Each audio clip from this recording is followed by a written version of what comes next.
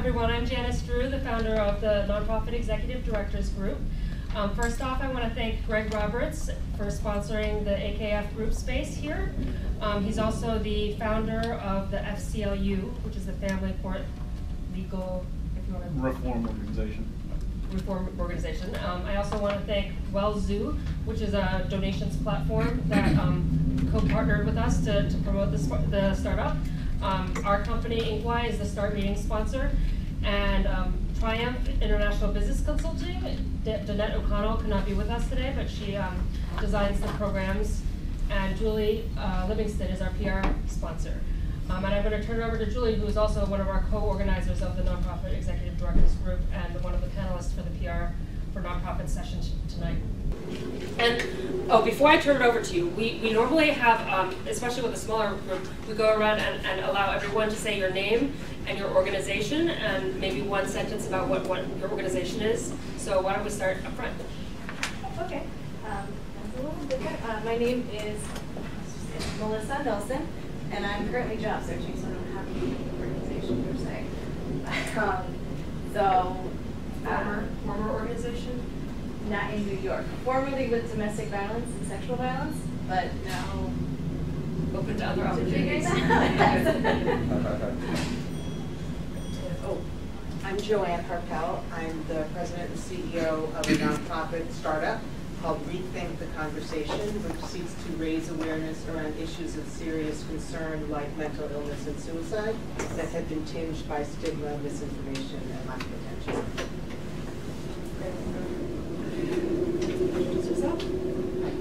Uh, Hello, I'm Maria Greenberg. I'm a senior consultant at Accounting Management Solutions.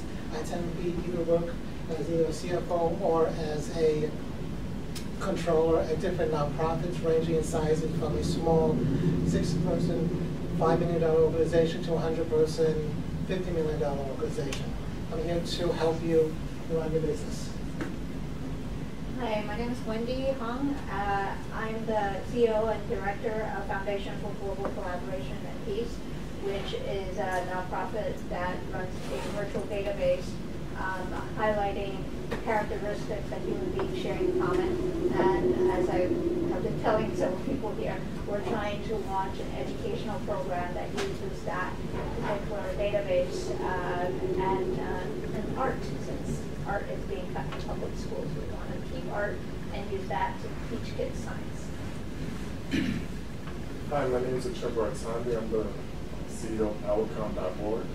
Uh, we connect nonprofits with skill-based volunteers to make their life easier.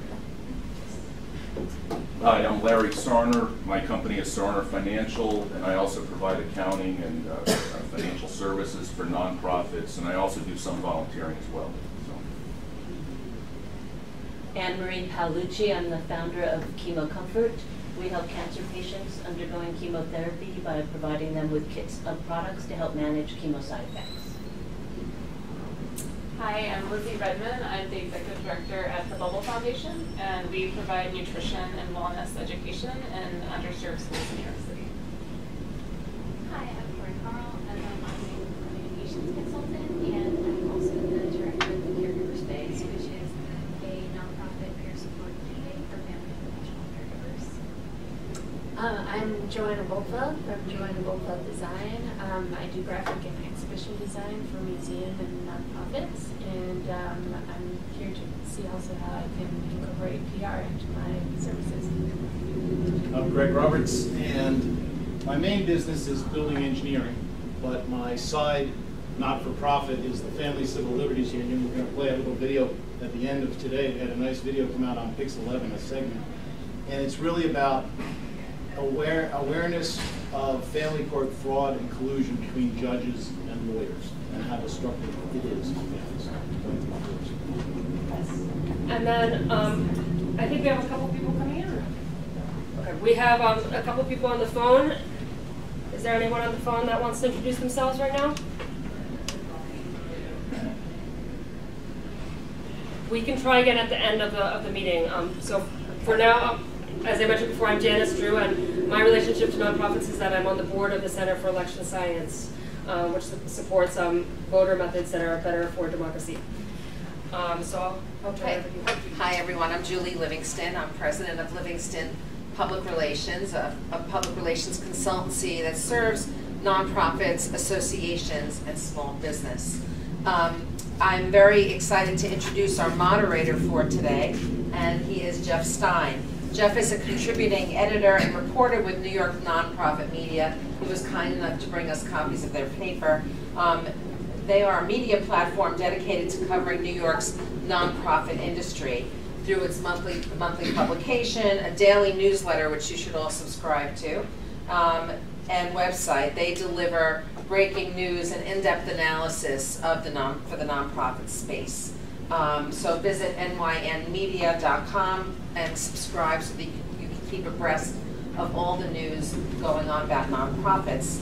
Um, and Jeff is going to introduce our speakers. Yes, uh, so we have, um, obviously Julie, thank you so much for the introduction. Janet Falk, here from Falk Communications and Research.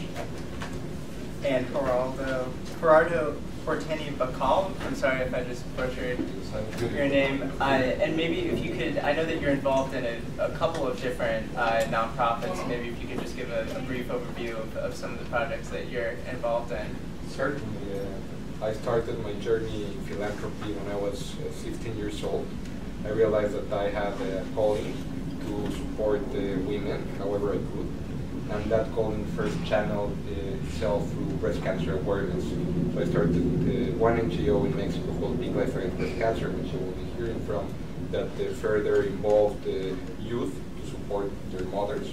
And then I said, that's not enough, we need the fathers and the men as well. So I started the first professional car racing team in the world that races non-profit in benefit of a social cause. You can imagine two hot pink cars in the middle of the racing car, racing track next to the cancer even on the side.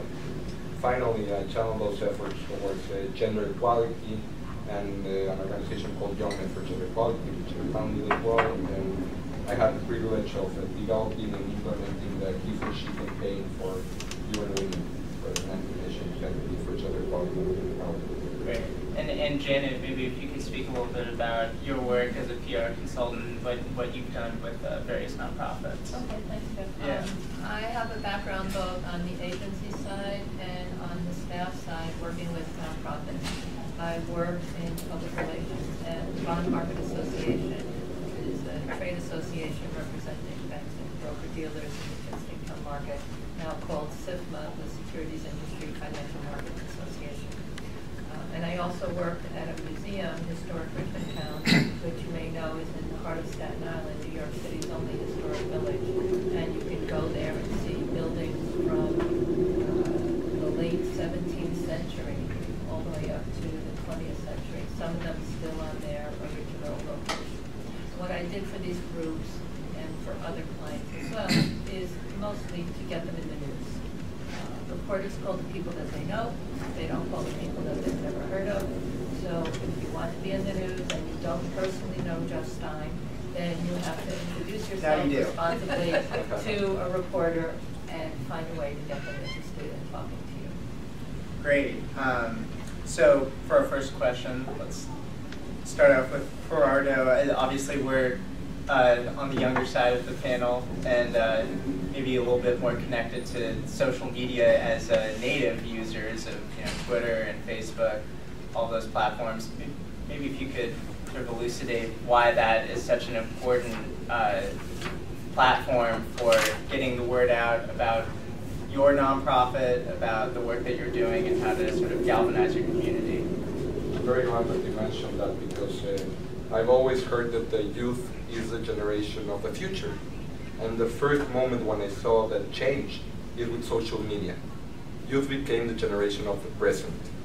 So basically, social media is an extraordinary way of giving everyone a voice, if that's what you're trying to do, of spreading advocacy, of getting a job, of trying to interact and uh, get uh, your organization into the global stage.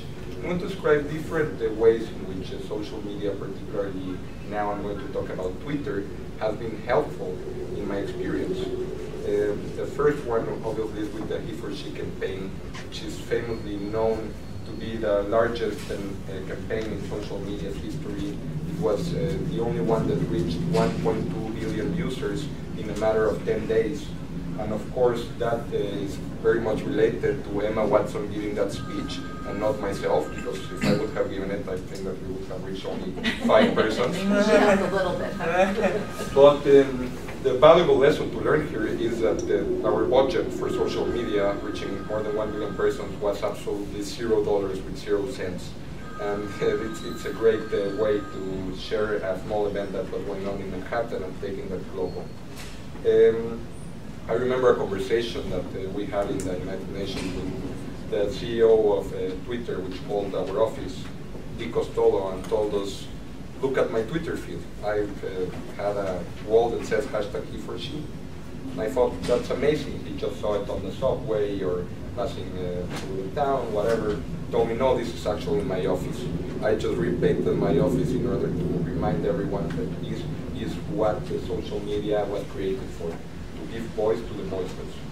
That was a very interesting experiment. Uh, another very uh, creative way in which I personally use social media with a small-scale organization called Young Men for Gender Equality was by recruit, recruiting ambassadors in over 45 countries. I knew that there were anxious young men to spread the word about what, why was this important for them to achieve gender equality.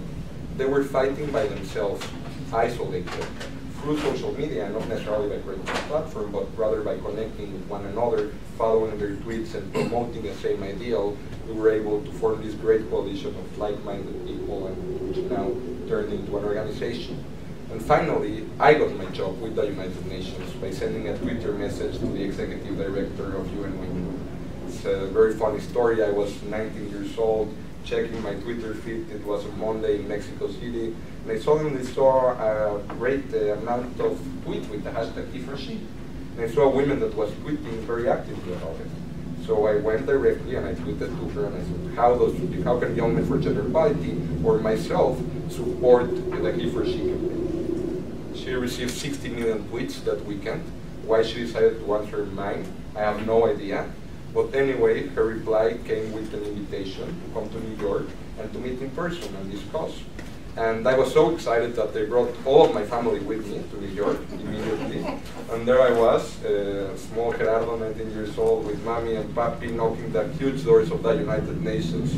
And uh, it was great because I was able to explain my ideals and see how they fought and, and see that we were basically, uh, we didn't need to compete each other, but basically uh, we, were, we were better off collaborating and that's how they ended up offering me two hours after the meeting the position of the consultant of global youth engagement of United Nations. So you never know how far it's going to get. It definitely helps you create partnerships, it helps you reach uh, other countries, and it helps you identify with like-minded people.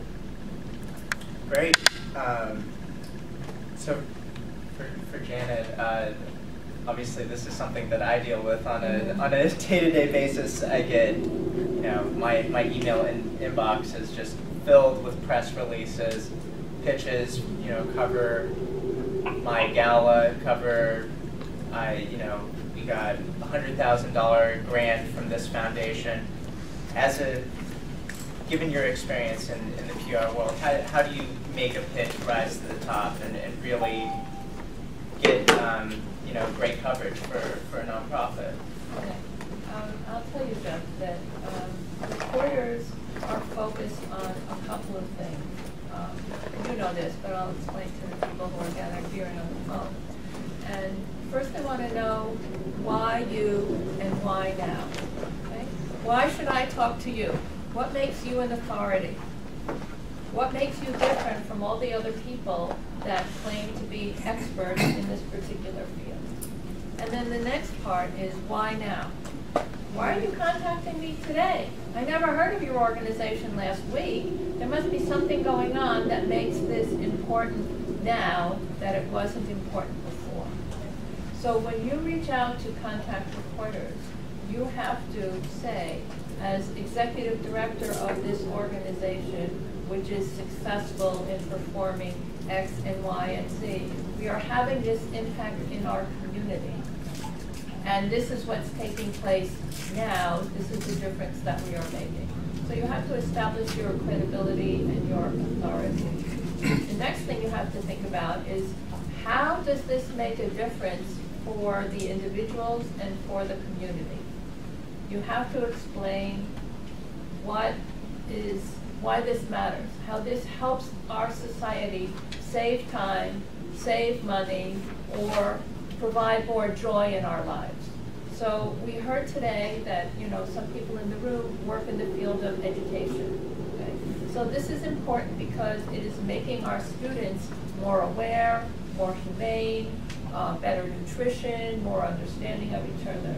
So this is something that is going to save time and save money because when you are aware of difference and you respect culture, when you eat better, then you're not going to get into trouble, right? You're not going to go looking for trouble and tension and stress, with other people, and you're going to live a healthier life.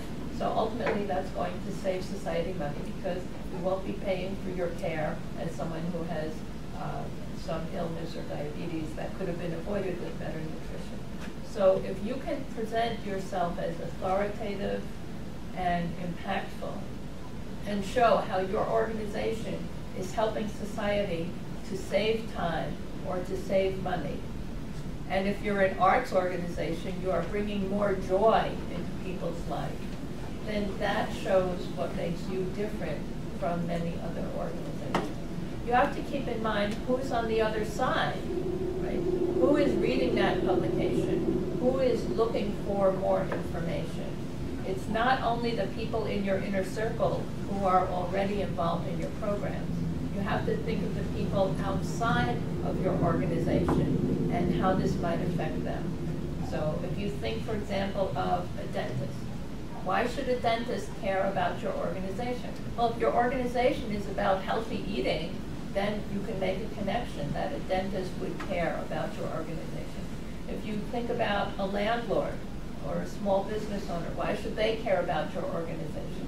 Well, a landlord is going to be interested in an organization that, as Wendy said, is promoting peace and understanding because they want to have an attractive community. They want people to, you know, live in their apartments and stay there. They don't want people leaving their apartment because they can't get along with their neighbors or because there's gangs in the street because of misunderstanding between cultural groups.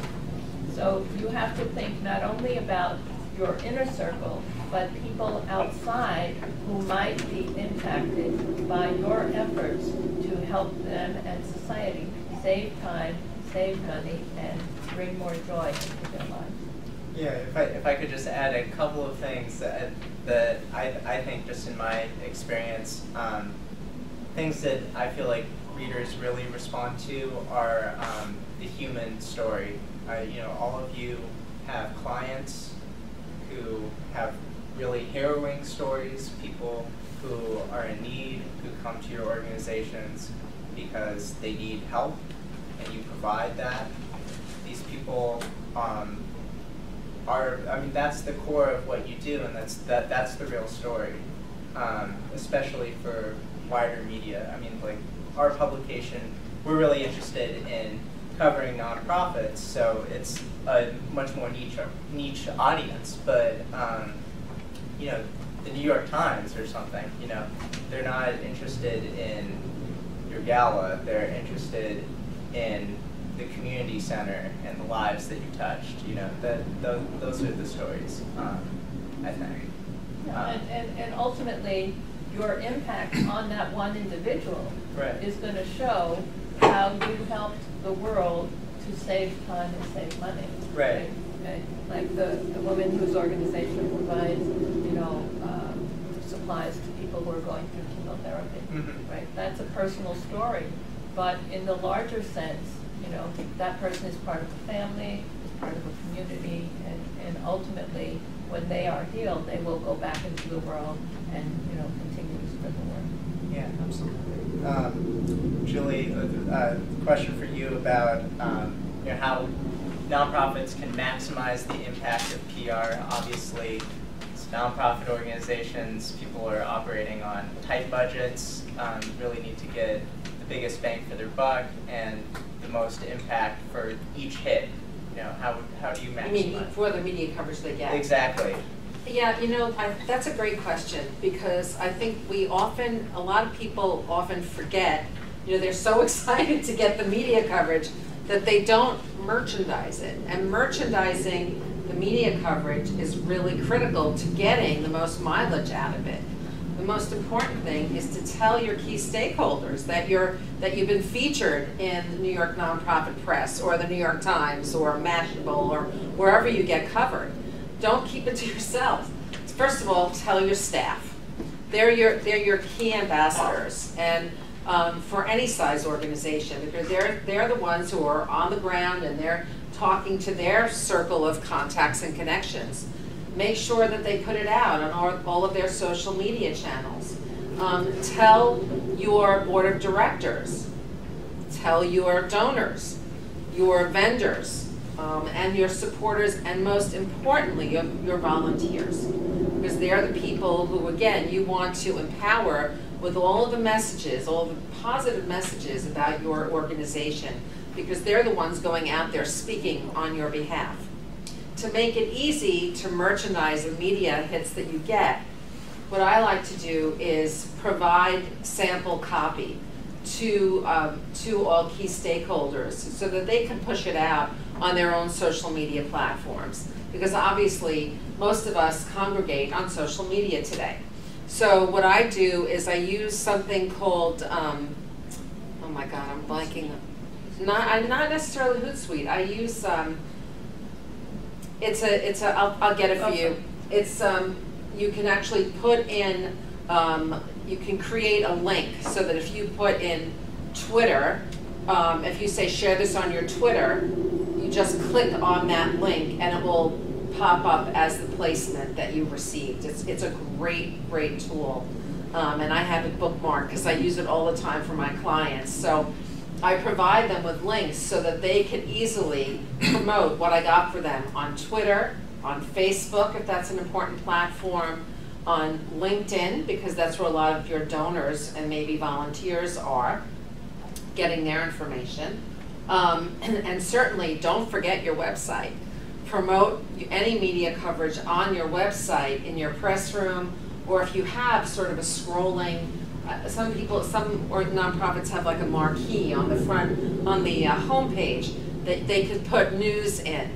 Again, when people send, when people see that you post your news on a regular basis, what will happen? They're going to come back because they're going to want to know what's happening since you look like you're an exciting organization. Things are going on. You're getting covered in the media.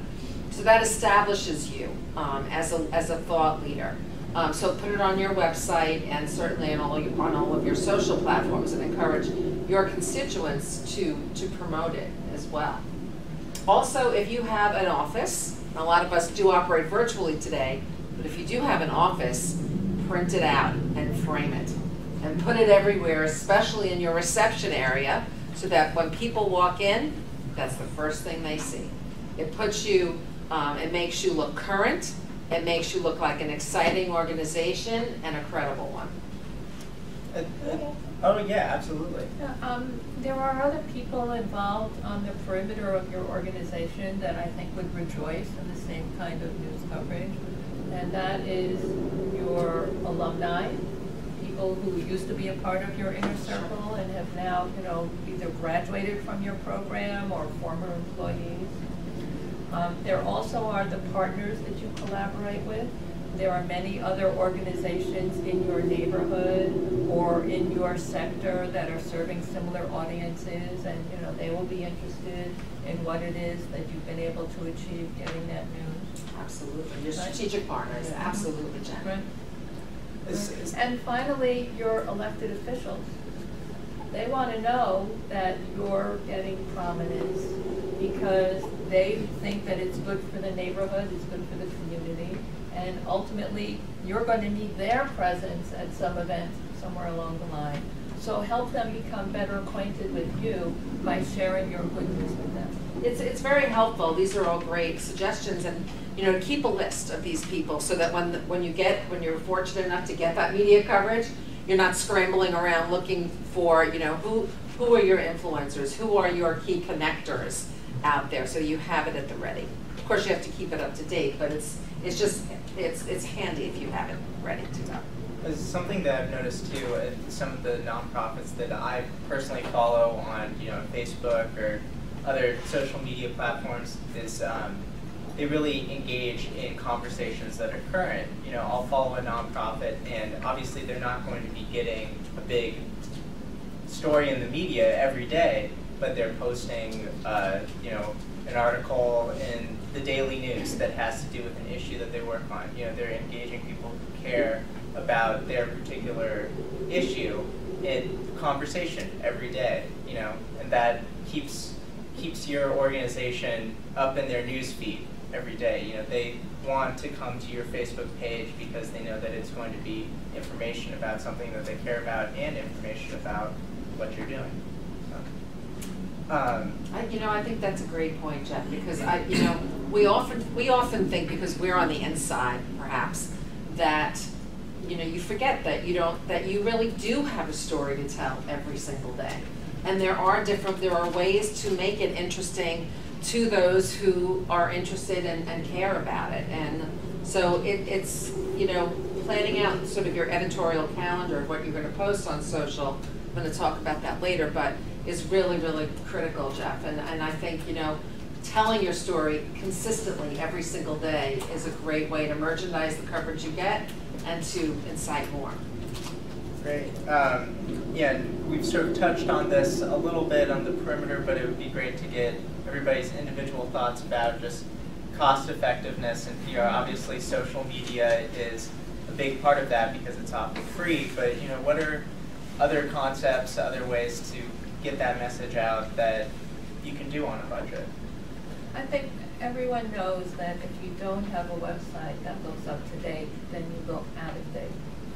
So it's an investment to have uh, a WordPress or similar modern looking website. But if your website has not been changed in the last three years, then that's something that you have to make an investment in. And if you're not connected to Taproot Foundation, they are people who provide teams of writers, web developers, photographers, designers. You have to submit an application and it's on a, a scheduled basis. So if you don't have a website that you're proud of, if it hasn't been updated in the last three years, that's my recommendation. And if you can make the investment, then I, I think. There are also other uh, organizations who provide similar services. We've been working here with the, at, the, at the NED Group with Gray Matters, and they are a group of retired executives that work with nonprofits exclusively. I know they're helping a client of mine right now with strategic planning, and they're really wonderful and quite valuable. Uh, there's also the Ben, Apple, the Ben Applebaum Foundation, so you should look those up as well. Gerardo, do you have some thoughts on that? Sure, it's, uh, for me an ABC. The A comes with the asking. Asking gives you a lot of assets. Our biggest asset is being a non-profit organization by itself. And whether you're asking for support in advocacy, action, or awareness, you're uh, likely to receive it. Not to necessarily of a donation, but they had a screening time for it. We asked them to display our campaign and our messages, and they happen to do so. All of the time, companies, governments, all of these uh, influencers and strategic partners have assets that uh, are uh, useful for non-profit organizations, and we should not uh, leave them unused. The second one is brand, and it's really about bringing your uh, brand beyond the office, beyond the 95. I uh, particularly in my organization, Pink Life, like to uh, only work with people that think that Pink Life is their own organization. If, if any of the employees don't uh, see themselves as the president of the organization in a short amount of time, then it's, um, they're not the right fit for my organization. And why? Uh, because working for an NGO and volunteering for an NGO is very different than being in the private sector. You literally need to, like we say in Mexico, ponerte la camiseta or really put you put the, the jersey of your team that you're playing for and uh, feel it in your heart. And when you uh, bring it with you, doesn't matter where you go, doesn't matter if you have a trip, doesn't matter if it's after office, doesn't matter if you just woke up and you want to tweet from your personal account, that reflects very well. And finally is the C. The C is most important for communication, but even more for collaboration. This connection that we just created amongst each other is a beautiful thing. I am here to learn from you, and we're all here to learn from each other. We are in a sector that allows us to fight for the same goal, which is making a better tomorrow. It doesn't matter if you're fighting for animal rights, for gender equality, for the end of poverty. We all want to see a better world for our generation, the next generation. So let's use each other as uh, assets and not as competitors. Great. So I know everybody has uh, individual presentations too. Oh, Why did I want to have mine? oh, oh, I'm so sorry. That's okay. One of the things um, that I know has been very helpful to one of my clients, which is the Med Shadow Foundation, they educate the public about the side effects of medicines, um, is Google Philanthropy. Google provides um, what you might call in the print world as remnant space to nonprofits. And this helps nonprofits to get, um, you know, get more visibility through search, through search online. So you should definitely check that out. Um, in addition, you can also, if you have resources to create, uh, you know, public service announcements or advertisements that uh, traditional or online publications and media outlets uh, might take from you um, because they have remnant space that they want to fill with, with positive messages from nonprofits. So um, I think being resourceful as a nonprofit is, is really pertinent. Uh, and there are definitely lots of cost-effective ways that we just spoke about. But I think being resourceful, you have to be super re resourceful as a nonprofit because generally resources are, are tight. Um, but I think using some of these things that we talked about can be can really help power up and uh, your your uh, exposure level and, and really you know connect you to more you know extend your reach. And before we move into the panel's presentations, why don't we, there were a few people who came in the room, why don't we, we all introduced ourselves, and if the front of the room can slide in, so if there's any last minute people coming in, um, there could be like three or four empty seats right there for people to come in. Um, so I would slide all the way down toward, toward me. Um, and then let's start in the back. I, I don't think you introduced yourself. Hi, I'm Steve Kuntz. I'm Janice's husband. Uh, our, our for-profit company is Inkwai. We're uh, a solutions company that helps with technologies. We're also involved with the New York Distance Learning Association and doing work for the Center for Election Science. And who else came in who hasn't introduced themselves yet?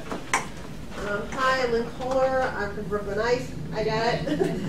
and I guess I'm an executive director in training because our current direct, executive director is going to retire. That's a great like a year or two, and so I'm sort of doing everything and then letting her like. And what does Brooklyn Ice do? We are an after-school program, and it has something to do with ice ice skating. So it's a free program for children who are at risk, underserved, don't have a lot of money, so it's free. So they qualify by free reduced lunch program, and it's in the winter. So I can come here because it's warm. okay. Yes.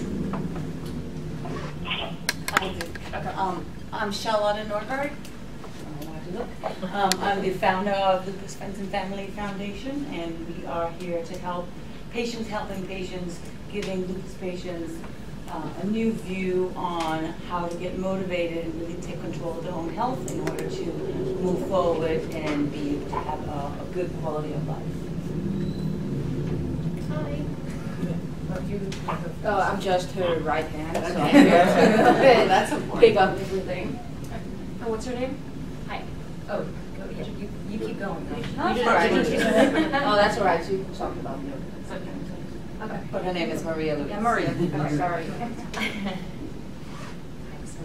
Um, I'm Kristen Sorgulis. I'm the Director of Development for Bent on Learning Yoga, or, well, just Bent on Learning.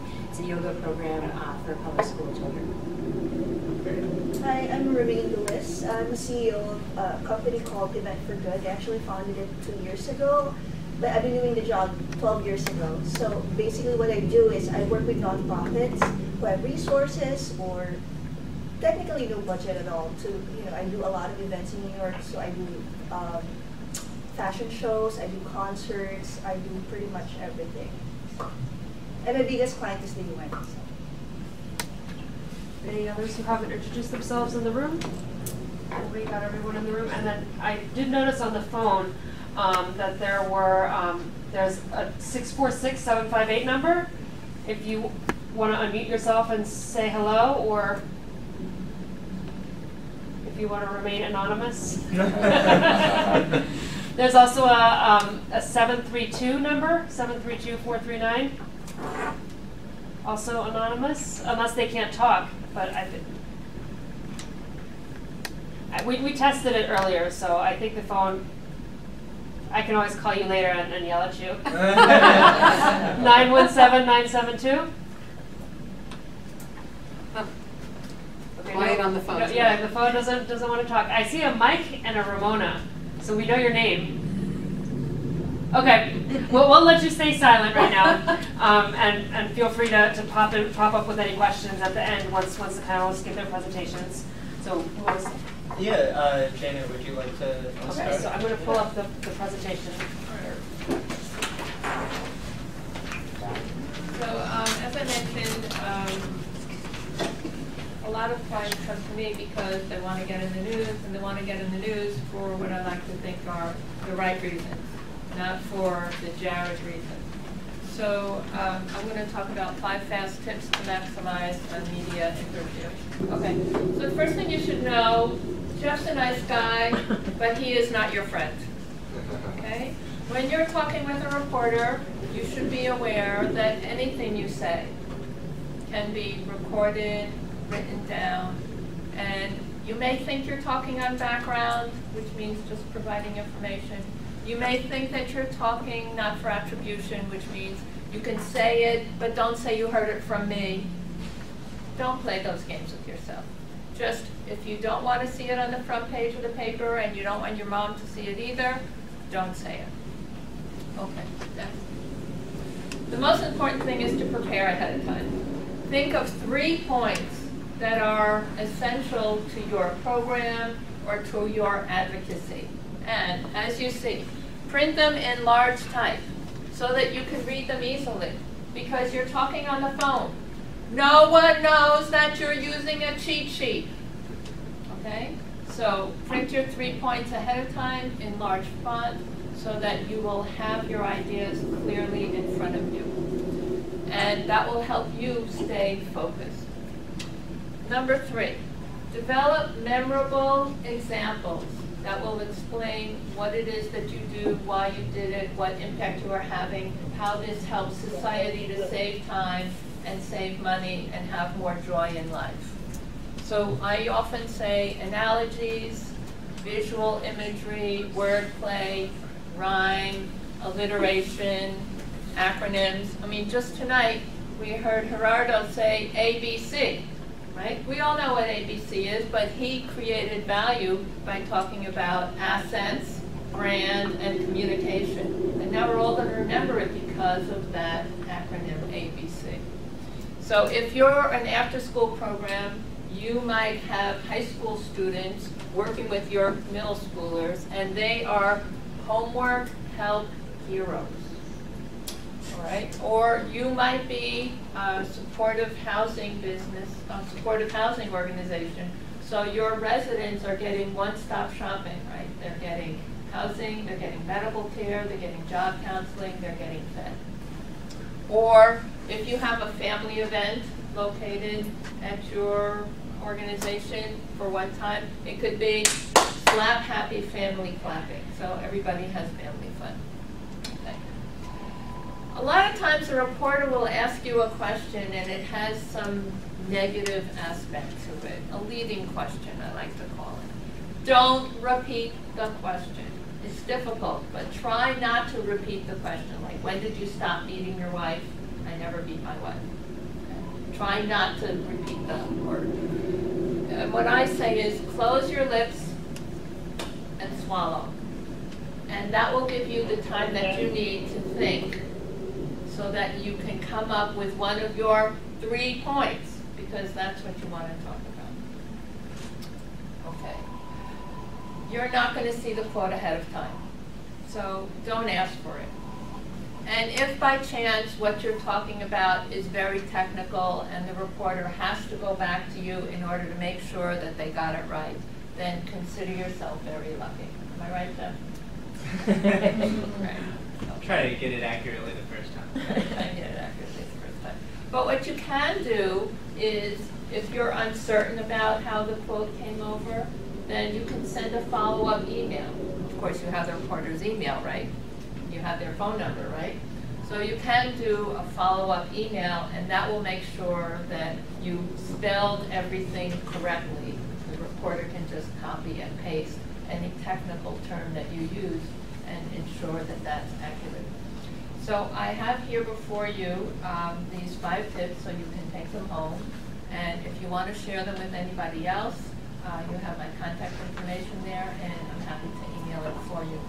So, um, thank you. Reporters call the people that they know. They don't call the people that they've never heard of. So you have to introduce yourself as an credible source and explain why you, why now. If you get a call from a reporter and you've never been introduced to that person, don't get all excited. It may not be for the right reason. Imagine Gladys in accounting is keeping track of the grants. And she notices that some grants aren't coming through the way that they used to. Now she's worried about her job. She puts something on her Facebook page. Her nephew sees it. He works in advertising sales at the local TV station. He meets up with his friend over coffee. Oh, I just heard from my aunt. She works at the such and such nonprofit. She said on Facebook that she's worried about her job. Now you're getting a phone call from the TV station. What's going on with your finances over there? Okay? So, you can get a call from a reporter from an indirect source and you'll never know why. What you should say is this, gee, I'm so glad you called. How nice to hear from you. I'd really like to help you, but I have someone in my office right now. I don't know about you, but I am always talking to me, myself, and I. All right. So I'd really like to talk with you, but I have someone in my office right now. Let me get your name and your email address. And just in case I need to get some more information so that I can be helpful to you, what exactly is it that you'd like to talk about with me? So now you have narrowed the focus to what might be the issue. You have the reporter's name, you have the phone number, you have the email address. You can spend the next half an hour working on your three points, coming up with your examples, and then definitely make that call in the half an hour as you promised. So you can be in touch with me. I have a monthly newsletter which gives tips. I occasionally publish articles on handling public relations and media relations, and love to speak with you at the end of the session.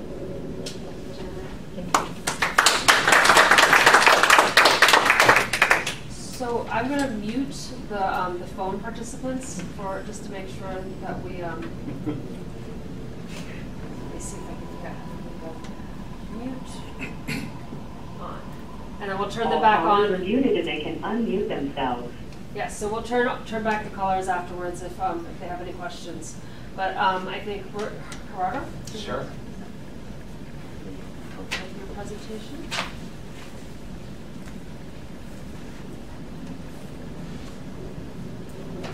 Okay. When I started, I had three options on how to organize my public relations.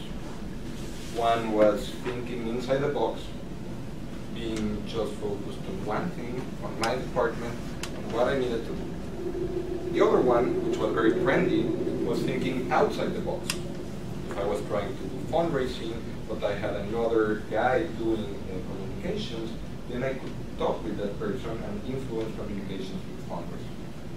The third one, which is the one that I embraced, is thinking without the box. And it is what I call integral public relations, a way in which you can do advocacy, awareness, action, fundraising, all within the same product, concept, or conference that you're attending. So my first goal was, how can I communicate to mothers that they should perform periodical breast self-examination? I was 16 years old, at school at the time, and I knew that it wasn't only about seeing a pink ribbon. Seeing a pink ribbon doesn't necessarily save your life. But if you're constantly seeing it and being reminded about the, the importance of checking yourself and also about the chance of contracting this disease, but also of saving your own life, then your uh, rate of mortality goes way lower. How to do this? Why not start uh, by showing them with the kids? We are used as, uh, as teenagers, as students, as sons, to hear our mothers tell us all the time, Gerardo, take care of, the, of yourself, brush your teeth, go to the doctor. Now it was the contrary. The students from uh, 10 schools, and private schools in Mexico City were wearing this uniform. Why do I bring this example up? Because through this example, we were uh, doing awareness. Uh, everybody was in the sweatshirt, they were seeing it in a regular basis. We were uh, certainly promoting our brand, Pink Life, which was in the front. We were promoting our cause, which is the pink uh, logo. But more than that, we were also fundraising. All these sweatshirts were sold, and now instead of having one billboard in, in the middle of the city, we had 3,500 billboards running all around the, place. So make uh, your supporters a way of communicating, your assets, your volunteers, in a way of communicating. So Another, another way in which we work in this organization is through colors. Uh, you will see that this is pink, but the uh, shirt is purple, which is a, a paradox. But it, it's a way of uh, uniting gender equality and breast cancer awareness and saying, why don't uh, we fight for both at the same time? This sort of uh, visual images is what uh, really creates power in the consumer's image. So finally, what did I do with all of these funds if yeah. What, what did I do with all of those funds uh, that I raised from uh, selling sweatshirts to kids as a nonprofit organization? Well, I needed to spend them in a responsible way. That's the most responsible way I could think of spending them. No, I'm kidding. I donated them to an NGO. And then, um, with another business plan, I started the first professional car racing team that uh, looked like this. And it uh, was uh, the best channel to do the same integral public relationships. Communicate your cause, communicate your brand, stand out from the crowd. Nobody was expecting to see a hot pink car with a breast cancer ribbon on it. It usually took two or three times before people figured out that it was us. But at the same time, being full of sponsors. Because sponsors uh, wanted to be related to a car uh, they wanted to be also related to a non-profit organization. They also wanted to be related with the youth. So integrally thinking about issues without the box is uh, something that was really able to bring an official channel for mental support. Finally, the best way to make someone support you is when you show them that your story, your cause, and your issue is integral to them. It's personal to them. It benefits them. I've heard all of the time seeing uh, young men that, and, and, older men and kids saying that they don't care about gender equality. I mean, they would support it, but why is it uh, important for them? And I usually do the following. I'm going to ask everyone to stand up with me, please. Look at the energy that we have in this room. Look what, how, when we stand together, we can achieve anything like we put our minds to. Now I'm going to ask please the women sit down. Remember it's not valid to stand up. Men, you're in your, in your house, please. We just lost half of our potential. This doesn't look like a team that could uh, solve a lot of issues.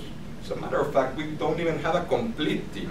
We couldn't even be on the field when women are forced or are uh, culturally limited to a sitting down and not being a full part of the team, all of us suffer. Society is potentially cut at half, and we cannot allow that to happen.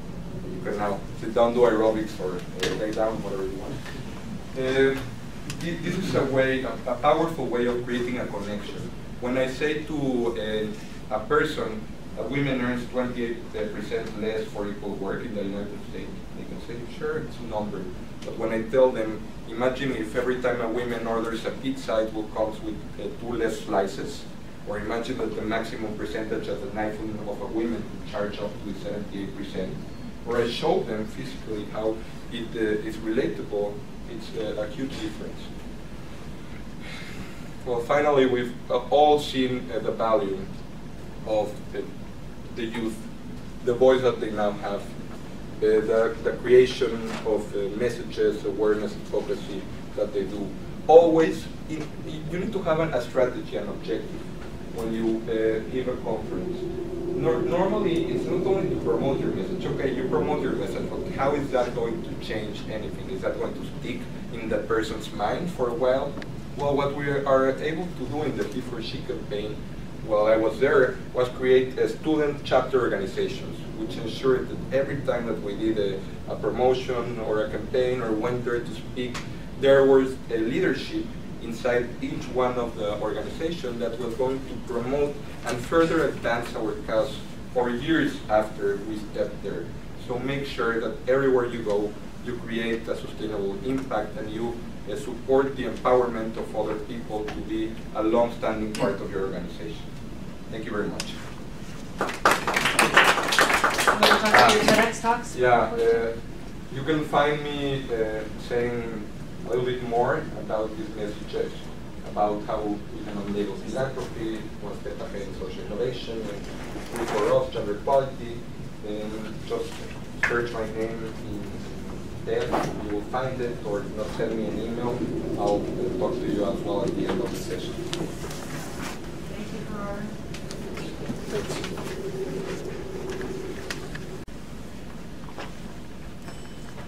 I want to talk to you today about power of storytelling through public relations. Because as I said before, all of you in your organizations have a story to tell every single day.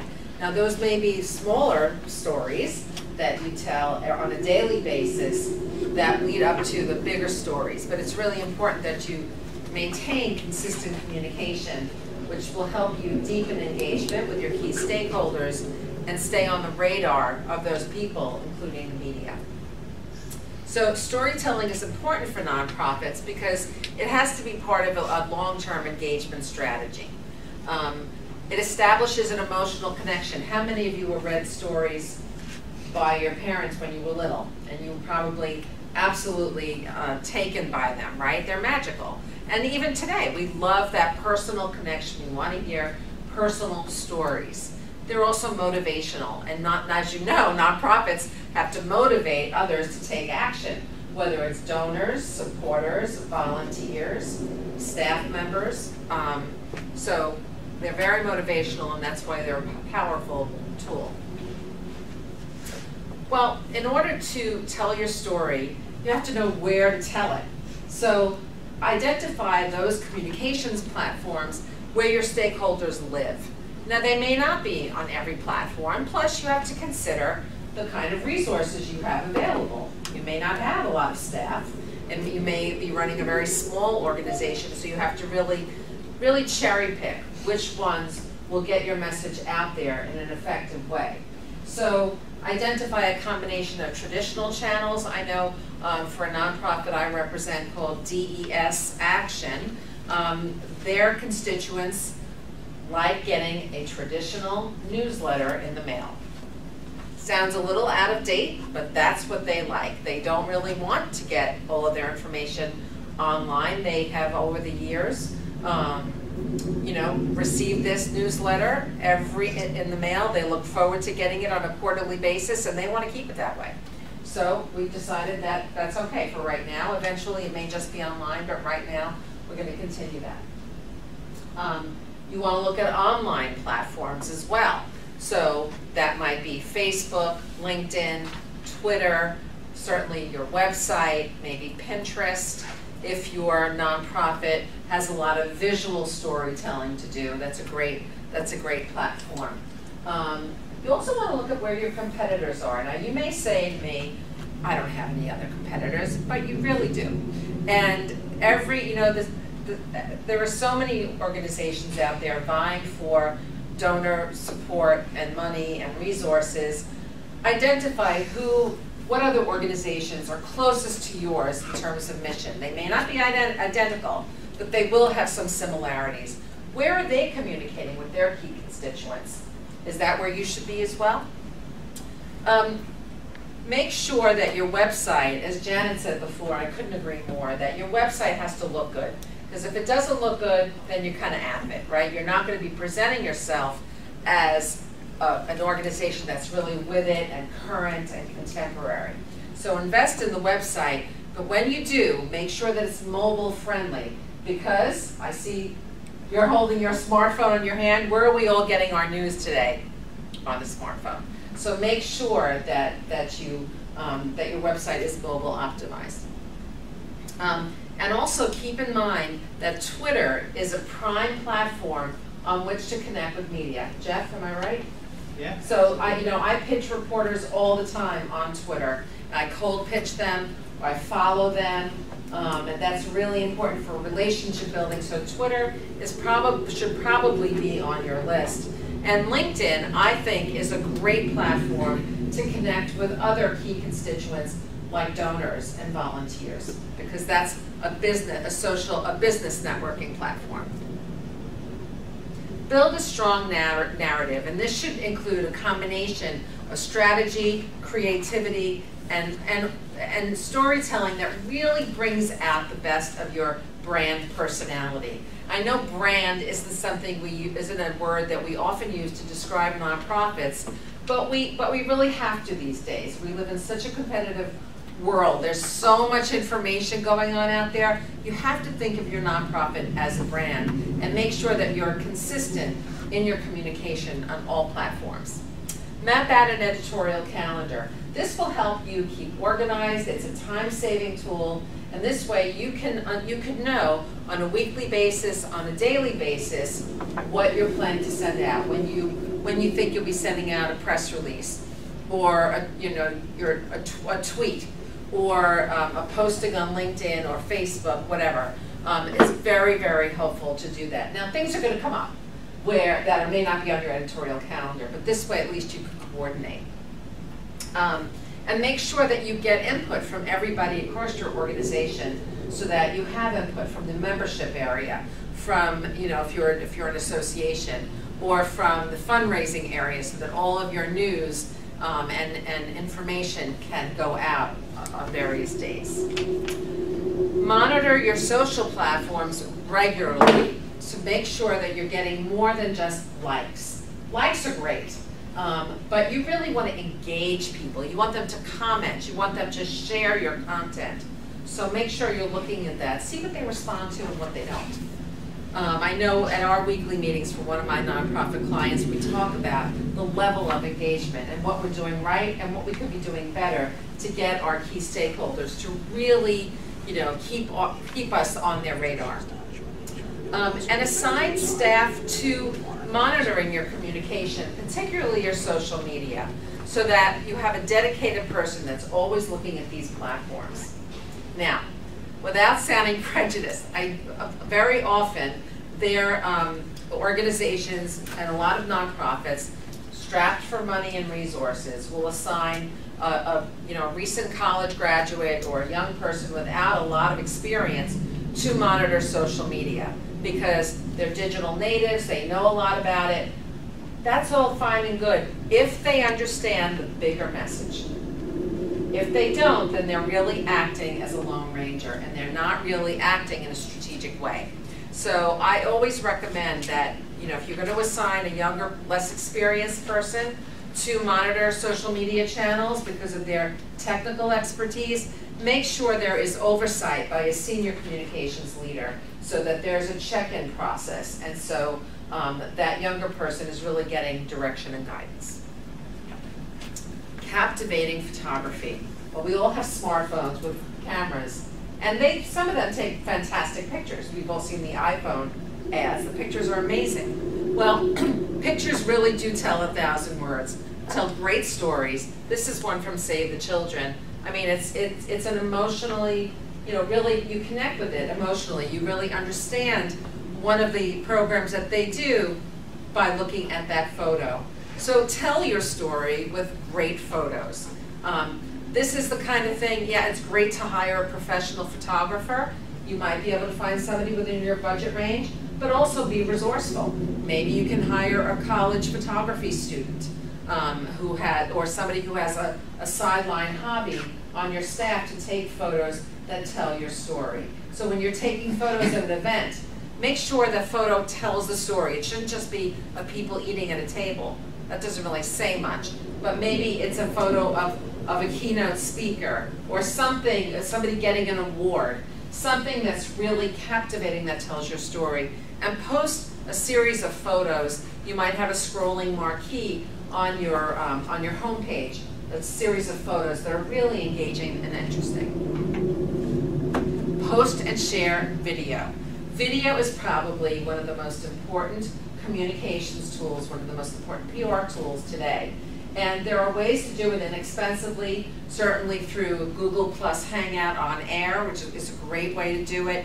Um, and there are other ways to, to use video, but video really brings a story, a nonprofit story alive. Personalizes it, it, it just gives it, it literally gives it voice. So it's also highly shareable, and certainly when it comes to social platforms, you want people, you want your key stakeholders to share the message, to share photos, to share video. YouTube is one of the most highly, uh, you know, highly used online social platforms. And obviously that's where people post video. So create a YouTube channel if you're able, and you will get a lot of mileage out of that if you have good video. It's really the video hub. Um, and as I said, video really does vividly illustrate the nonprofit mission. It really can do a marvelous job at telling your story and showing donors and supporters, your board of directors, and others where their resources are going to. Well, of course, the written, it goes without saying that the written word is critical, it's paramount. Knowing how to write, how to write your story and tell it in different ways so that it comes across consistently on various platforms um, and that you have lots of stories to tell about what your organization is doing will really help you establish trust, legitimacy, credibility, and hopefully raise your profile. But always be brief. Um, and Janet, I'm sure you could, would agree with this, that nobody reads today. People are used to being on social media and reading in little snippets. So don't give them a thesis. Give them a soundbite A paragraph or two is plenty. If you're blogging, great, but make it brief. Make it shareable. Storytelling ambassadors. As I said before, empower those around you, your staff, your volunteers, um, your board of directors, um, you know, if you have student chapters, those folks. Um, get, let them know what your stories are so that they can go out and share it. Remember that shampoo commercial? You know, I told a friend I liked it, and she told a friend, and she. It's like a steamroll effect. So you want to really get that, get those messages out there so that they feel empowered to also share your positive stories. It really builds a sense of community and like, you know, we're all in this together kind of thing. It's, it's very, very positive, can have a very positive effect. Um, I also have a tip sheet for you to take away. Um, look forward to talking with you after today's presentation, and thank you so much. So if we can have the panelists come back, we'll, we'll have Q&A. But before we have the Q&A, just a few logistics. There's water and coffee down the hall, um, it, and also restrooms. And, and Greg in the back, the, the space sponsor, um, has the, um, the codes to the bathrooms. So if anyone needs to One pop up. dollar a piece for the. We didn't tell you this was a fundraising event. And then I think The codes you- are on the door, they're on sticky pads. We, we had all gone around and introduced ourselves, but I think you came in Yeah. a little late, so if you want to. Um, I'm Amanda Wood. Um, I'm interning at a startup called Live in the Gray and also CBS Radio for the summer. I'm from Michigan. Greg, did you want to also show us your video? Yeah. Talking about the power Sure. of video, you had a great one. Yeah, a couple of weeks ago, I had uh, a nice little success with uh, Pix 11 News. And the problem I have, we fight for fairness in the judiciary, which is, in my opinion, extremely corrupt, and it destroys families on a regular basis going through divorce. They pick the families clean of all their assets, and then they kind of drop you, whether in your custody, your children's custody, can end up anywhere. What happens is with all the news organizations, they don't want to touch it. They claim that it's he said, she said, but really, it's the internal lawyers in the news organizations that quash the story. And we've had this happen with 60 Minutes, with Nightline, with a lot of different organizations. And the lawyers at Pix 11 were trying to quash the story as well. And the uh, reporter that we were working with, Joe Mauceri, saw that a woman was shot to death by her husband, who was a cop, and he was shot. He shot his wife because he was stuck in family court for two years. It got so adversarial, he cracked. He was unstable to begin with, and as a cop, the judiciary would not give a restraining order against him because they didn't want the the uh, police force to look bad. So he finally just said, "The hell with the lawyers. We're going to run this thing." Before you run it, can you tell us a little bit more about how you got the exposure with the reporter? What a little bit more about? I've spent three years trying to get this message out, and it has been very hard. I've been talking to the press. I have 1,200 press agents in my email blast, and been working. How did you get them on your list? Did you just meet them? You? I've been networking on LinkedIn predominantly. So how did, you, so what, why do you think it clicked all of a sudden, like now? What, hap- what happened now that made it click, this particular Well, this- reporter? This incident. Oh, so this, the, the murder, okay. Oh, what's going on with that? I really, I don't know, it was really the murder that clicked it with Joe Masur. And he had been in here filming this, he was in our offices, working with us. And what's interesting is we had, we finally had enough evidence. A lot of people can't believe what goes on in family court. You think it's the, the one safe uh, uh, haven for families being divorced, when in actuality, the judges are all bar association cronies with all the lawyers. So they absolutely eviscerate pieces. But we got a piece of, of recording from a CEO of a major bank in New York. He gave it to me on a thumb drive at lunch in Midtown, and he recorded it of his lawyer telling him how the system works. And that is the most compelling piece of evidence we had, and that's when they took it really very seriously. So I don't know why this is, this thing is jumping around. So you really built a case for this over time. Correct. You You kept in touch with the press, and then this news event prompted. Three years ago, a reporter in LA told me, you need to do all the legwork.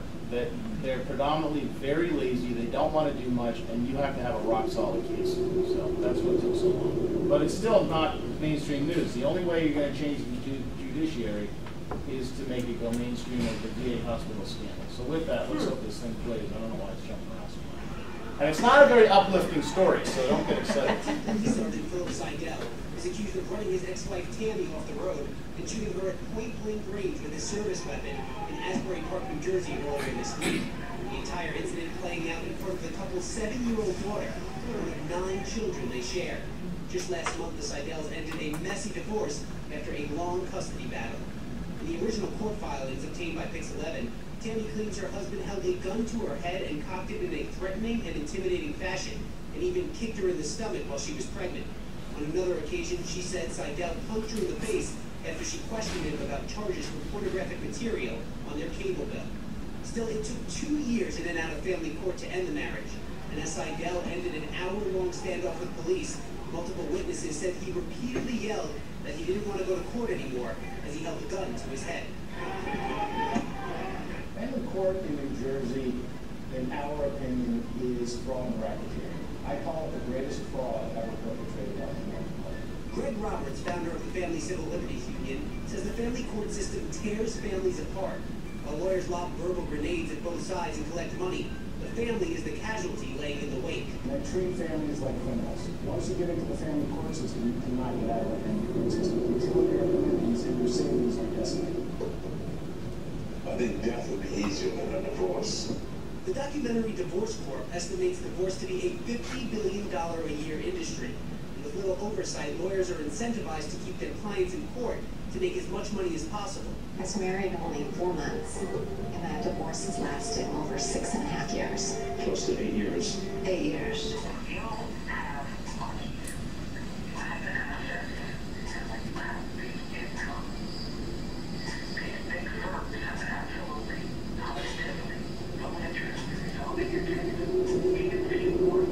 Pix 11 recently obtained recordings of Jay Thatcher, a lawyer based in Clinton, New Jersey, who's been practicing family law for more than 40 years. We called and emailed Mr. Thatcher for comment, but he did not respond. He describes a system where lawyers keep their clients in the system as long as possible to reap big profits, a process known as churning.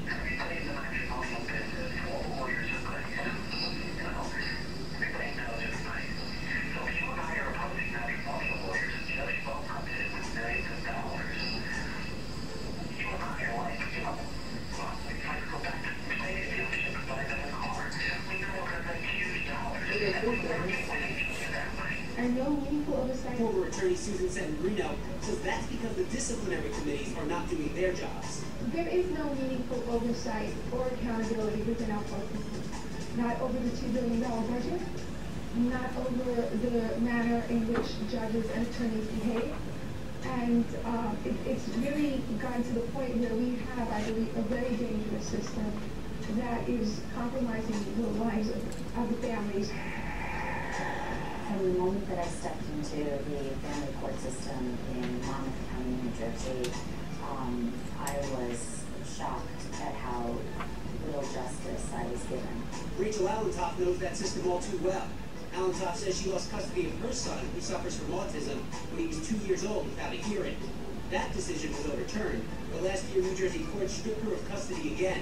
Now she has a RICO lawsuit against Governor Christie in the state of New Jersey to change the process. If you step into the family court system, you can guarantee that if you don't have deep pockets or politically connected law firm, you're going to have your constitutional rights denied and your civil liberties ignored. FCLU estimates that Allentoff is one of 50,000 families in the tri-state area affected by a broken family court system.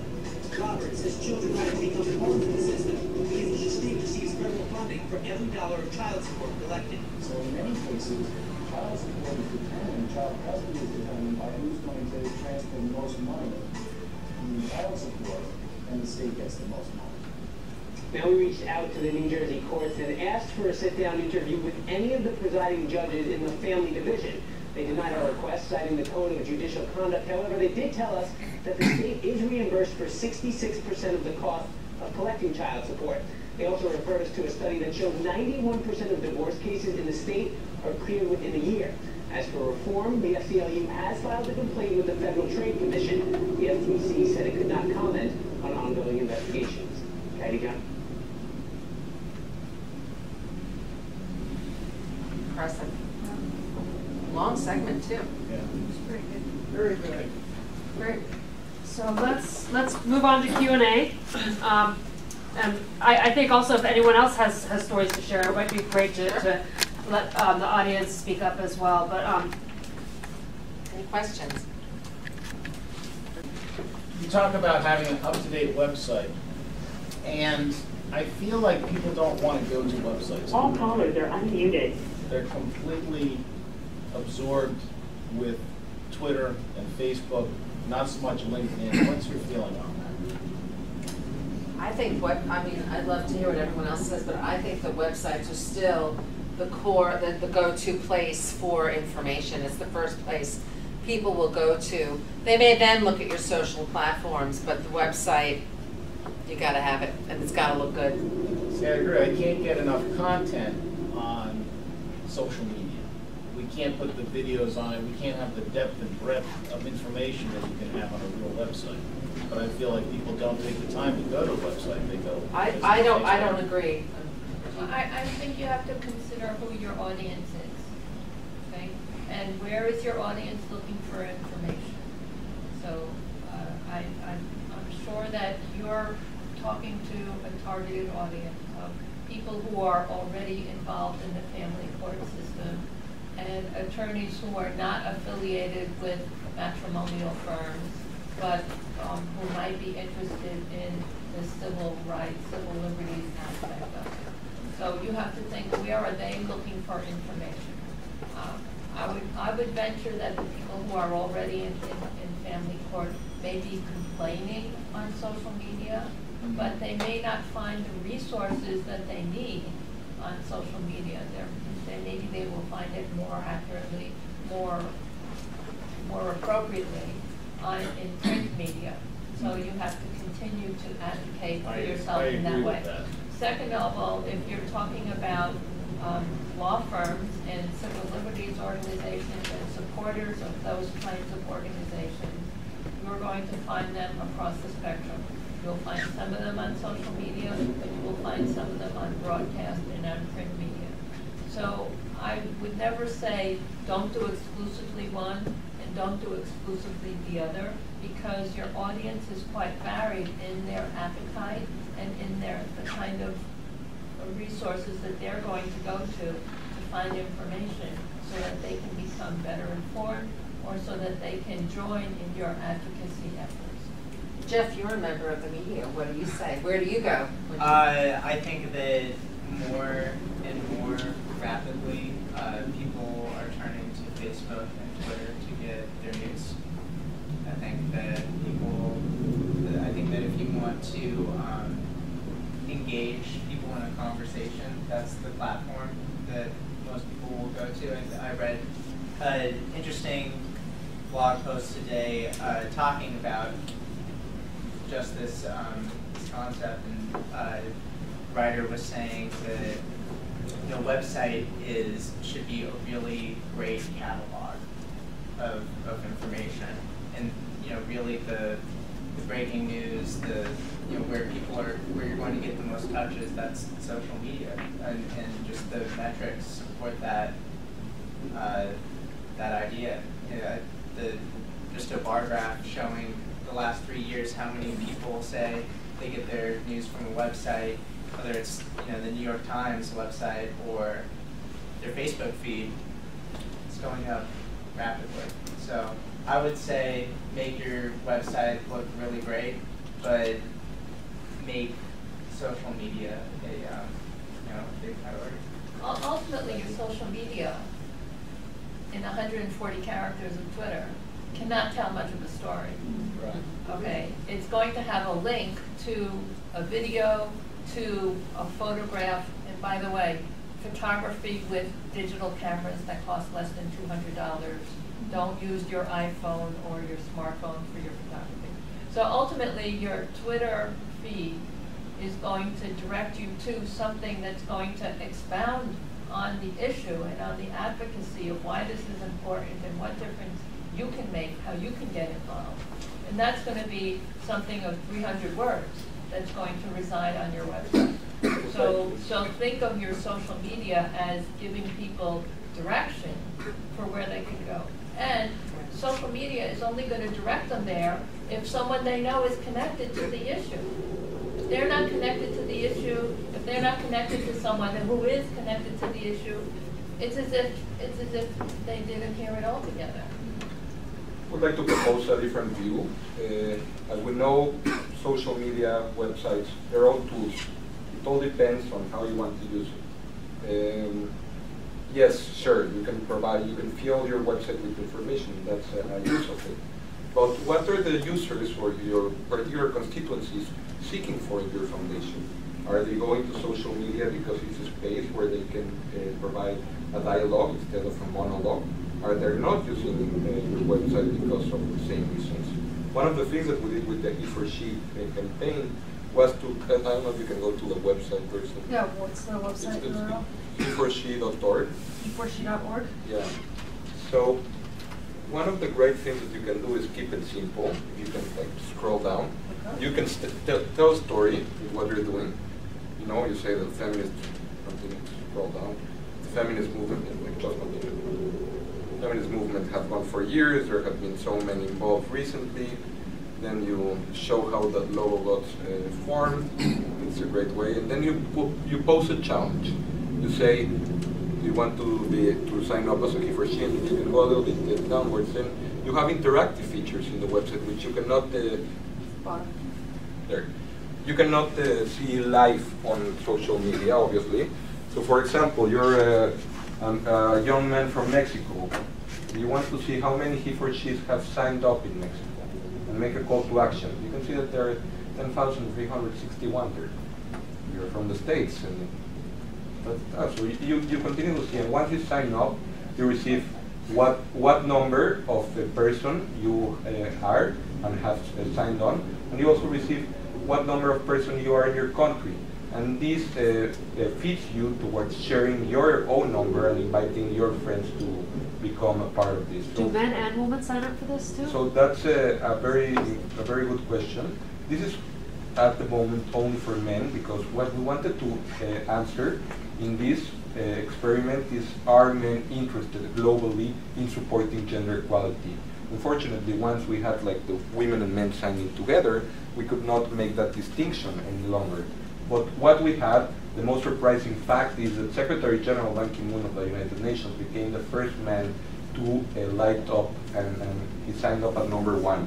But after three days, we had 100,000 people signed up. And the impressive part is not only the numbers, it's that literally the whole world turned magenta. The map was white, but the small event in Manhattan was able to reach every single corner in, this, in the world, every member state, 193 different uh, countries in which men heard about the campaign and said, yes, it's a global issue, and I am uh, going to be a part of it and be a part of the solution. So, Do you have a video showing it white and then lighting up? well, that's a great idea. So we're, going, to, we're going to hire Joanne to, to, to do that. But I- Can I add something to that?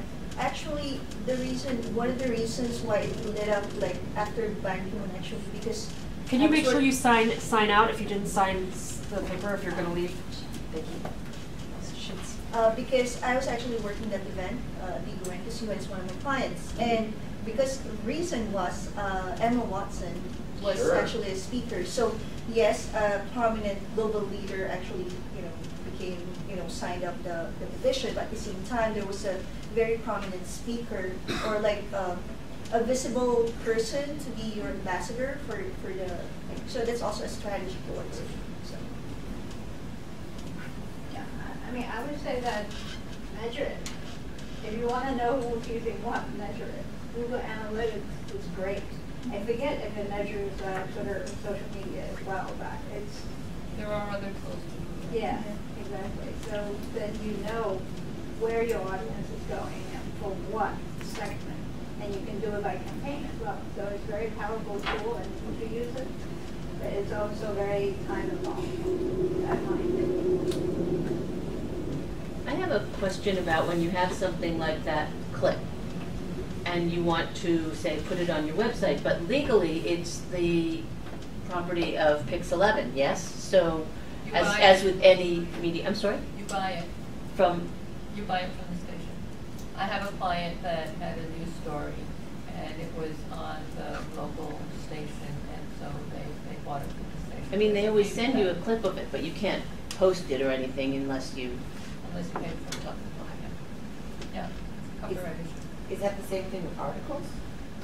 Sometimes, I mean, it depends on, it, it changes from, uh, from publication to publication, and, uh, depends on how you're using it, uh, how it's reprinted, those sorts of things. I mean, it, it, it's pretty easy to work with a, any given publication, to sort of ask them, you know, what you're looking to do with the, with the write-up. Actually, I just, uh, I just got a client of mine in USA Today, and um, they actually have a policy of providing a J, a a PDF or JPEG of the article, which was very nice, so we were able to really use it however we wanted. But so really, your responsibility is to go in and find out if you can truly post it on your website and also use it in social media, or is social media a different question that's usually more acceptable, or? If you have an article in something like USA Today, okay, and you copied the URL and then you want to post it in Twitter or Facebook, it'll come up as a shorter URL, and it'll probably say USAT. So everybody knows, looking at it, that it came Right. from USA Today. That's. But, you know, every, every publication has a policy. Yeah, I- You know, I As think- Jeff is saying, so, Yeah. so you get, and some of them, you just contact them and you, they direct you right away to the reprint office. And, you know, they have a form there and you fill it out and you, you submit your check or your credit card and, and- and. As, as long as you link to their posting of it though, you're fine. Yeah, right? I, I, That has nothing to do with. Publications are incredibly happy about more traffic going to their websites. If you want to reprint the article in your annual report, though, that might be a different issue. You know, so you need to just sort of it, how how you're using it. Right, and over time, those links will lapse. The article will disappear or the clip will disappear. So better to get it taken care of in the moment, hmm. and then you know you'll have it. If you give credit to the uh, television station or the newspaper, isn't that good enough? And say that, you know, our uh, nonprofit appeared in so-and-so newspaper or so-and-so television station. So you're not saying it's your piece, you're saying this is the coverage of our organization by X, Y, Z, uh, uh, Uh, news media. I, I don't know why there It, should it, be depend, it depends on issues. the it, it, it depends on the way that you're reusing it. So if you are embedding, oh, say it's a Pix 11 video, if you're embedding a video from Pix 11's website on your website, that might be fine. If you're uploading that video to your own personal YouTube page and then embedding that on your website, that might be a different issue.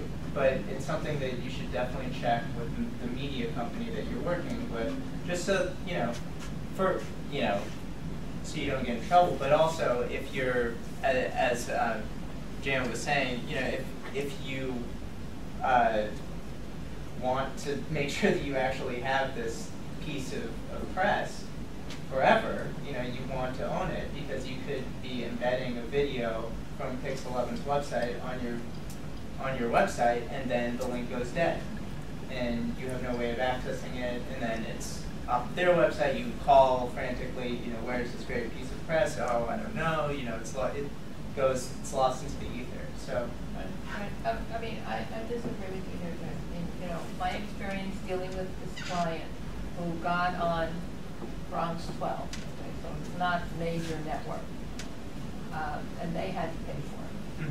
So, If you want to say, our organization was featured in the Daily News in a discussion about X, which quoted our executive director, you know, A, B, C, D, that's fine. Okay, that's a statement of fact.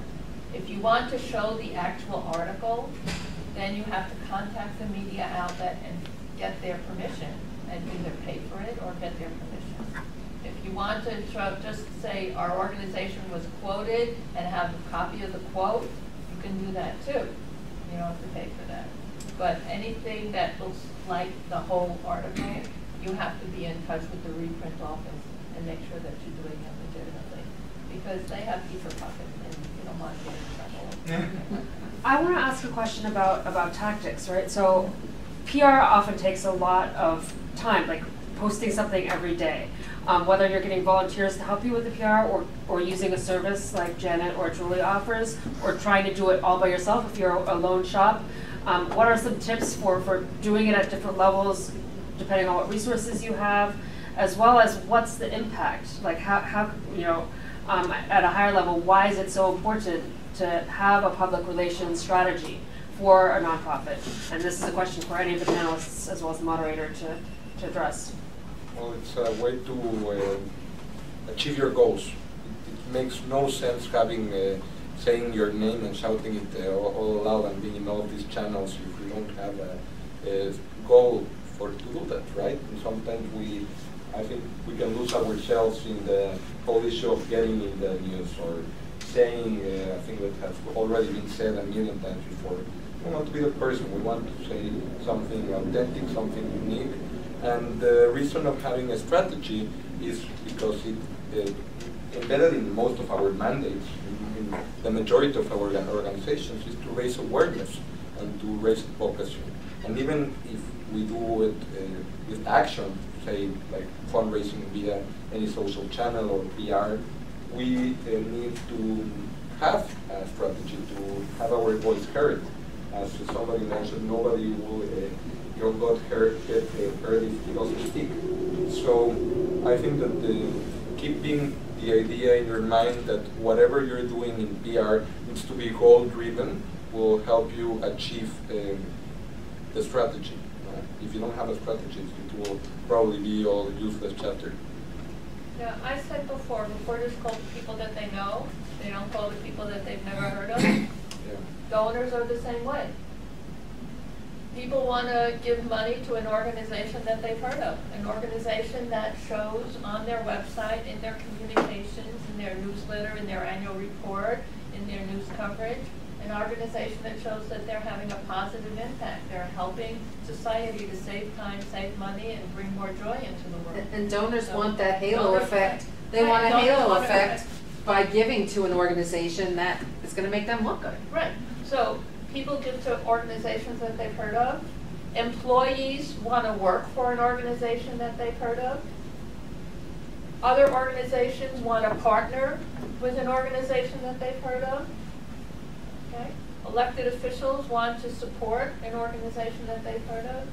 Vendors want to do business with an organization that they've heard of. So people hear about you through a variety of means. They hear about you because they're referred to you. They hear about you because they, saw something about you in their friend's Facebook feed. Their friend said they're going out and being part of a walkathon or a bowl-a-thon to support their, their organization. And uh, people read about you in the news, they hear about you on the radio. So imagine that you're not doing this, right? Then who is going to hear about you? So communications and public relations in general is an investment. It's an investment in yourselves. It's not an expense. Because if you don't talk about yourself, then nobody else, not your employees, not your donors, not your vendors, not your alumni, not your neighbors, not your partner organizations, you have to talk about yourself and get other people to talk about you as well. You mentioned um, building reporter relationships. Can you talk a little bit about how to do that effectively? Okay, um, I'm happy to provide for anyone who gives me their card, um, what I call an executive media profile. And it looks like this. It says, name of the person, um, and this is what their uh, phone number is, and this is what their email address is. And this is a person who is considered an expert or a leader and has these kinds of credentials. And these are the three top issues that this person can talk about. So in your case, it might be, you know, the impact of healthy eating on day-to-day performance of students, okay? The impact of low sugar on athletic performance, okay? And the interaction between, you know, education and healthy eating outside of school. Okay, so those are three things that you would be able to talk about. And then um, these are issues that affect everyone in our community, right? Because it's about children, it's about families. And for more information, be in touch with, so forth. Okay? So you explain what makes you an expert. You explain three issues that people should care about. And then you give your contact information about how to be in touch with. And do you hand these out at networking events? Because I know Greg, you said you met a lot of PR people or a lot of press releases. How, how do you, what do you actually do? Okay, so what, what I would do, you know, and what I do with my clients in that instance is I think about who are the audiences that need to have this information? And how can I get in front of those audiences? And is it going to be local newspaper? Is it going to be national newspaper? Is it going to be narrow niche publications, magazines? Is it going to be um, AP, um, Associated Press, News or. Reuters, or, or Bloomberg News Services? Is it going to be radio? Is it going to be TV? You know, who are the audiences and where are they looking for more information and how can I catch their eye? and then I will contact those reporters that are at those publications. By email. That are, the reporters that are either education reporters, or reporters that are health reporters, or reporters that are science reporters. I'm talking about your particular organization. Yeah, no, thank you. Yeah, I appreciate Okay, that. and where would I find those reporters? Well, I might find them on Twitter. A lot of reporters are on Twitter, and they'll even say email address in their profile. Which is so helpful, Okay. but you can follow those reporters, and you should do a search on Twitter for those mm-hmm. reporters and follow them. Some of them will follow you back, so you can also keep track of what they're covering. Right, and then you'll have introduced yourself to them by email, and then a few days later, you can call them up, and you can say, um, you know, I saw your story on X, I represent this organization Y, we're very interested in these kinds of issues, and I'd like to be able to talk with you more about this. And I tried the three-strike approach, which is I email, I call, and while I'm making the phone call, I'm sending the second email. So that they're gonna get the message, if they don't delete it, they're gonna get the email, if they don't delete it, and they've already seen my name once. So that's, that's what I do. I introduce with a media profile that explains the three bullet points of what are the issues that people need to know more about. And then I email it, and then I call and email simultaneously. And at that point, three strikes. If after three touches, I can't get you interested, then I'm going to the next thing. But I don't do one reporter at a time. You know, I do, you know, several reporters in a day. Yeah, no, that's helpful. And if I could just follow up on that, um. Well, wait, Ger- I think Gerardo wanted to answer. Go ahead first. Please. Oh, okay. Um, I mean, I, it's curious to hear, um, you share about sending something more broad about our media profile versus a very specific story angle on this. I think that's something that we have been thinking about when we think about our stories, which specific story we want to highlight. Is it, um, a specific program or, you know, a spe- specific school that is launching or a garden or a family meal, or is it just our organization and who we are? Um, but it sounds like what you're sharing You is- can do both. Yeah. You can do both. I mean, if you want to talk about certain broad issues, then yes, you would use a media profile. But you could also do a story pitch, saying, this is a- an example of the kind of thing that's going on. And, you know, I would like to talk to you about it and provide, you know, again, a couple of bullet points about why this is important. And then say you're available to discuss it, or even better, you know, see if you'll be allowed to write something about it. Um, Because there are some places where you can contribute your own article. Never write the article first. Submit the theme of what you'd like to talk about, read bullet points, and say, you know, I'm interested in pursuing this further, and, you know, happy to write about it. Because suppose you wrote six hundred words, and then you find out that they want five hundred, or nine hundred, or a thousand and you have six hundred, right? So you have to do surgery no matter what. So better not to write the article, if you want to do that, and say, this is what I'd like to write about, theme, couple of bullet points, and then they will tell you seven hundred fifty words, and that's what you will turn in. Thank you. I, I would say, um, just something from my experience on the other end of it, that I've seen, uh, some nonprofits do really successfully, kind of in the same vein as, uh, your social media, is, you know, something's happening in your space that is a big story, locally, nationally, you know, release a short statement on it and, um, send it out to some targeted places, you know. I think that it's something that can, you know, sort of what Jan's saying. You know, when I am gonna write something that has something to do with, uh, formerly incarcerated individuals, I have a couple of nonprofits in my mind, a couple of executive directors I know who are experts on that issue. And I'll call them first, you know, tenants' rights, immigration services. I, I know who the people are who I'm gonna call. You wanna establish yourself as one of those people in your space. So let people know that you have, you know, not, just, you great programming, great, you know, things going on within your own organization, but you have a broader advocacy policy idea. I want to remind everyone about the C in one of the biggest resources we have as a non-profit organization, collaboration. All of us here have some sort of media contact. I don't know if it's a New York Times or El Reforma in Mexico or a more specialized uh, newspaper. The fact that they're publishing one of one non-profit article doesn't mean that they're not going to publish another non-profit article. It uh, most probably means that it's going to create the trend of a socially aware newspaper that will continue to cover these sort of articles. So the biggest trend that we have in groups like Meetup is not sitting here and, and having a, a, lecture. We're not an educational institution. The best thing that we have in Meetup is literally making a pool of uh, like-minded individuals which, uh, with particular experiences in particular fields in the same sector, share resources. I can particularly uh, share with you, I don't know if anyone has given a TED talk, if anyone has uh, got featured in, in, or wants to get featured in Latin America, or in any of the uh, realms that they work in. I am more than happy to provide a reference, and I am more than happy to provide the contact, and my resources are your resources.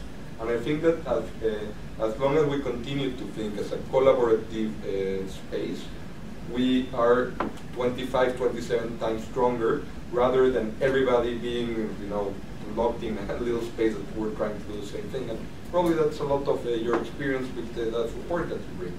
Let, let's fight with this together because we're fighting for the same thing. I think that follows the mission of the nonprofit executive directors group is that we want to find partnerships. That was our first session on, you know, partnerships and growth for nonprofits is to forget about the competition and think of ways that you can partner and pool the resources to get more done and um, and get exposure for for your organization by um, looking at where other similar organizations are getting exposure and reaching out to them and, and trying to, to, to, share your resource versus um, fighting for. Yeah, the, the only reason why I'm here is because a friend of mine, Yango, that has another nonprofit organization, uh, recommended me. And I've recommended Yango before, so as long as we continue paying it forward within ourselves, it makes a lot of sense. It's win-win for everyone.